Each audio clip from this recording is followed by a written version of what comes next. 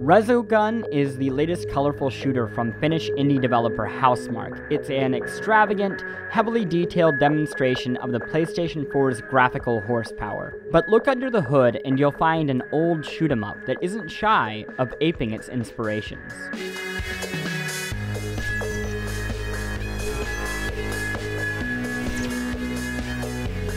The obvious point of reference is the arcade classic Defender, which provides Resogun structure. As a spaceship, you protect humans from enemy waves encroaching from both sides of the screen.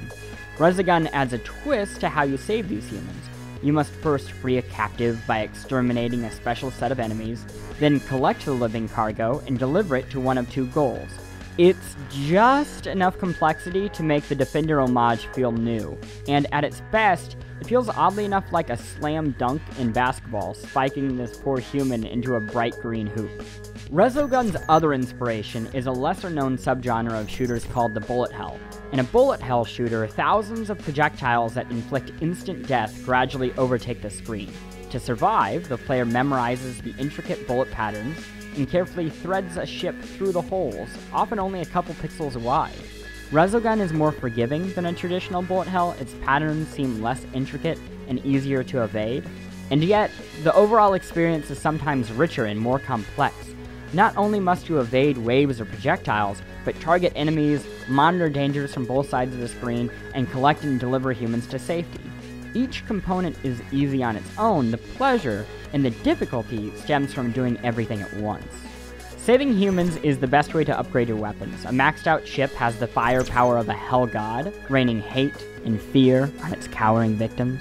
More firepower means more kills, which means more energy to fill your laser meter. Your laser is an apocalyptic beam of pain that devastates whatever stands in its path. On normal difficulty, I used it as a sort of lethal flourish. On harder difficulties, it became a vital tool. Like a great old school arcade game, Resogun trains you, making you its master one round at a time. There always seems to be an escape hatch, so long as you have the skill and reflexes to use it. Besides the laser, you can collect screen clearing bombs or use a dodge move that lances a row of enemies. Because there are multiple ways to play the game well, the game doesn't seem nearly as repetitious or difficult as most shooters. And because it's beautiful, really, it's quite the looker with sparks and particles and debris constantly crashing about the courses, it accomplishes that great feat of its predecessors. It attracts others.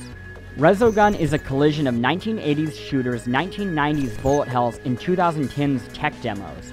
It's as simple or as difficult as you want it to be. Sure, it borrows great ideas, and quite liberally, but its best idea is smashing them all together into a singular, spectacular laser light show.